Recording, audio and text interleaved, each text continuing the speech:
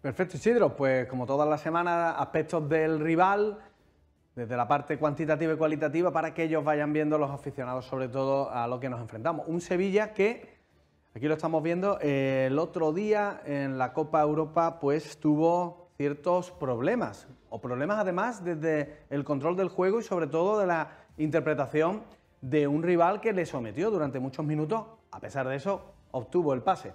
¿Qué planteamiento utilizó Lopetegui? Pues el 1-4-3-3 con esta manera, esta fórmula de disponer en el terreno de juego, sobre todo el centro del campo. Aquí estaba Cundé en el 11, hoy no participa, fíjense en Fernando como ese pivote defensivo, pero también asumiendo un rol eh, prácticamente como tercer central. Y luego lo interesante de los movimientos, fueron tres delanteros, Ocampos, eh, Tecatito y sobre todo la movilidad del Papu entre líneas, la que intentó Lopetegui plasmar un escenario táctico que, cierto, tenía la ventaja del partido de ida.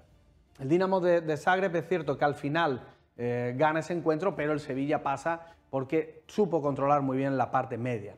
Un empate ante el español. Aquí, sistema 1-4-3-3, el que utiliza eh, Lopetegui un Sevilla que tuvo más el balón, y esto es interesante porque no piensen los, espectadores, los aficionados, que el, Sevilla es un equipo que se va a encerrar atrás, todo lo contrario. Si se le deja, por supuesto, tiene un centro de campo potente que maneja muy bien los espacios.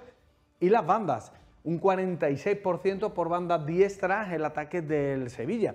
Y aquí volvemos a verlo sobre la pizarra táctica, ese 1-4-3-3, que puede ser el sistema preferido tal vez de Lopetegui en esta fase de la liga, donde de nuevo con las bajas no se condiciona el estilo de juego y lo vamos a ver una vez se plasme hacia campo rival.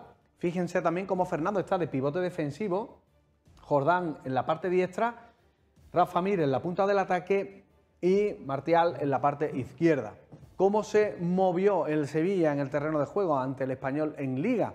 Pues lo vamos a llevar a la posición media.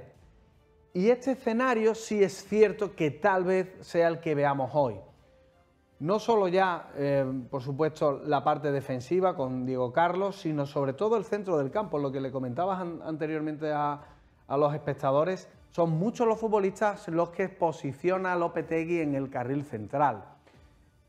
Quitarnos el balón, saber que cuando lo tenga sobre todo Fernando en el terreno de juego, va a intentar buscar las bandas de manera rápida y fulgurante, es lo que el planteamiento de Lopetegui va a plasmar desde el minuto uno.